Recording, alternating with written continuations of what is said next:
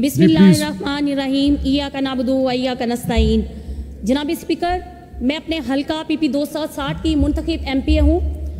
अल्हम्दुलिल्लाह, अल्लाह के करम से माँ बाप की दुआओं और अपने लीडर इमरान खान के एतमाद और मुझे बख्शे हुए एजाज़ के, मैं एक मिडिल क्लास फैमिली से हूँ, मुझे उन्होंने टिकट देके जो एजाज़ बख्शा, जो इज़्ज़त बख्शी, मैं उस पर उनकी मशहूर हूँ और अपने हल्का की आवाम, जिन्होंने इमरान खान पर एतमाद करते हुए मुझे भारी मैंडेट के साथ जितवाया, मैं अपने हल्का की आवाम की भी बहुत मशहूर हूँ।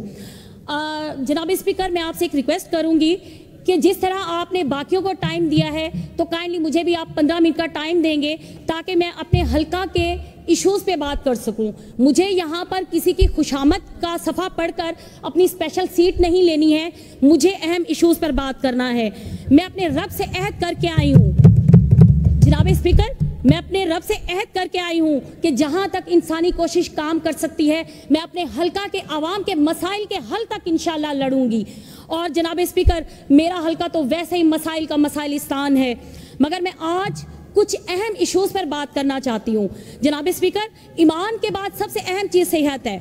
मगर बदकिस्मती से सेहत के फंड्स ना होने के बराबर होते हैं। और फिर लाहौर से होते हुए, मेरे हल्का तक पहुँचते हुए, अनजानी सी यख बस्ता ठंड का शिकार होकर सुकड़ जाते हैं। या तो मेट्रो बसों की नज़र हो जाते हैं, या फिर सैकड़ों अरब की ऑरेंज ट्रेन कहाँ वो खान साहब की इंसानियत से मोहब्बत का शाहकार, सेहत कार्ड और कहाँ तख्ते लाहौर के लूले लंगड़े प्रोजेक्ट्स जो मेरे वसेब के बुनियादी हकूक भी खा जाते हैं। जनाब स्पीकर, मैं अब अपने हल्का की आवाम का पूरा पूरा हक लेकर जाऊँगी। जनाब स्पीकर, मेरी पहली गुजारिश है कि मेरे हल्का पीपी 260 के शेख जैद अस्पताल के ट्रामा सेंटर की तामीर के लिए फंड्स की तरजीही बुनियादों पर फरहमी यकीनी बनाई जाए। इसके साथ ताकि वहाँ के आबादी की सेहत के मसाइल भी हल हों। ऐसा नहीं कि उन्हें 60 किलोमीटर फासला तय करके रहीमिया खान जाना पड़े और खुदा ना करे कोई एक्सपायर हो जाए। जनाब स्पीकर, बदकिस्मती से हल्का के बेतहाशा स्कूल्स ऐसे हैं जो 30 40 सालों से अपग्रेड नहीं हुए या करवाए ही नहीं गए। और मिडल हाई नहीं हुए। फिर टेक्निकल फॉल्ट ये टेक्निकल मिस्टेक ये कर दी गई कि जहाँ हाई स्कूल है ही नहीं वहाँ अवामी प्रेशर की वजह से कॉलेज बना दिया गया है। जनाब स्पीकर मगर कॉलेज में बच्चे नहीं हैं। बच्चे कहाँ से आए? जब हाई स्कूल ही नहीं है तो कॉलेज में बच्चे कहाँ से आएँगे?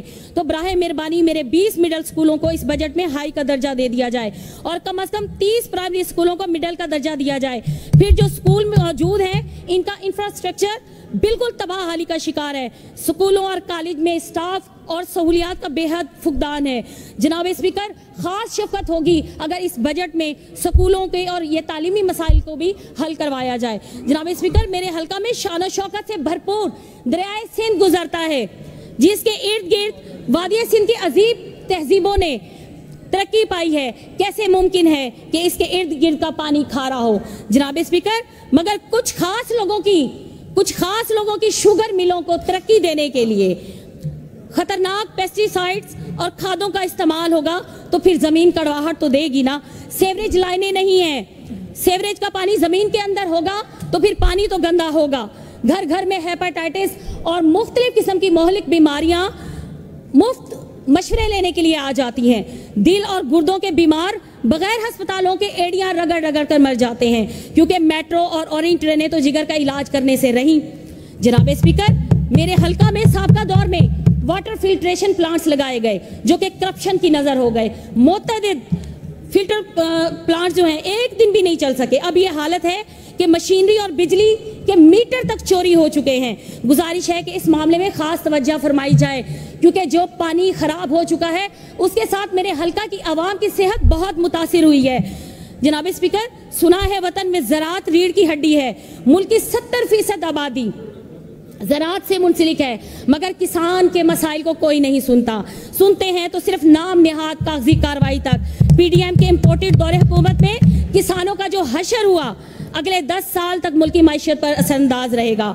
किसान खुशहाल नहीं है। मेरा हल्का पीपी 260 दरिया के बीच में हल्का होने के बावजूद नहरी पानी का इंतज़ाम नहीं है। दरियाओं के दरिया लगता है, सिर्फ़ सिंध के वडेरों को पालने के लिए पैदा